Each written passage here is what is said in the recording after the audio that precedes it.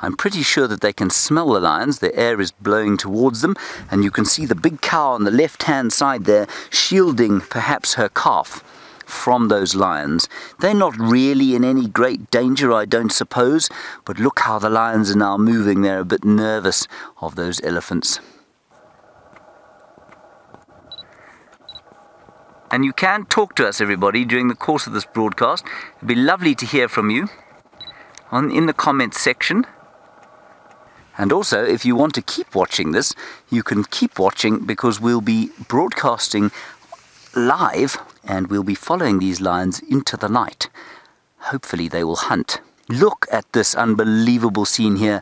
The lions have been usurped, and if you've ever had any doubt as to who the real royalty of the wilderness is, well, now you've had that cleared up for you.